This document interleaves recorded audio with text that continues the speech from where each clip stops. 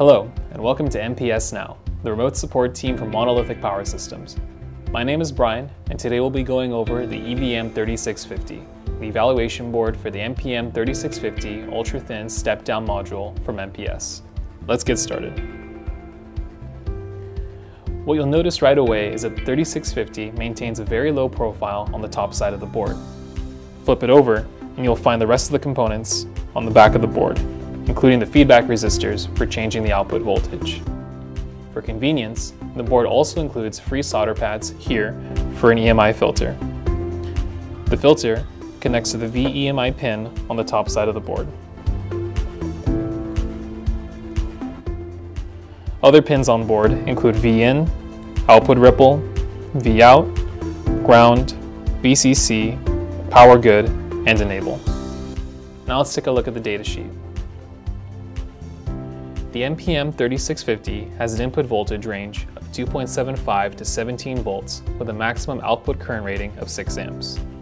Some other key features include the fixed 1.2 MHz switching frequency, adjustable outputs starting at 0.6 volts, and, as I noted on the board, enable and power good access for power sequencing.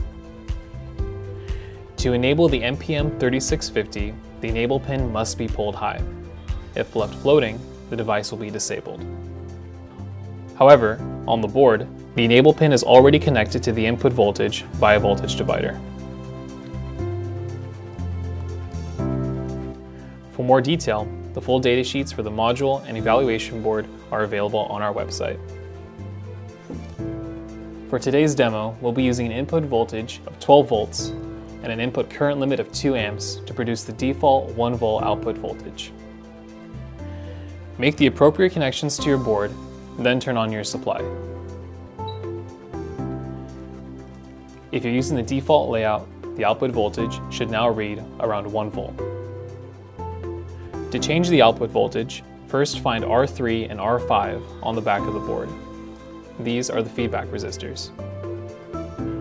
To set the output voltage, follow equation 2 on page 16 of the datasheet.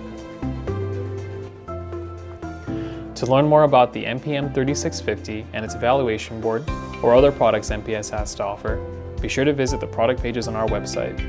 To speak directly with one of our expert engineers, contact MPS now for quick support. Thank you, and we look forward to hearing from you.